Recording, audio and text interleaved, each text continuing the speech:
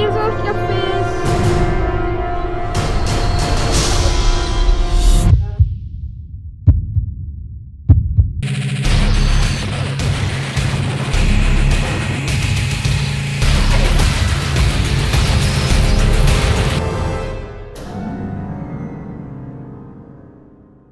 Wow, bis hat das Göttung!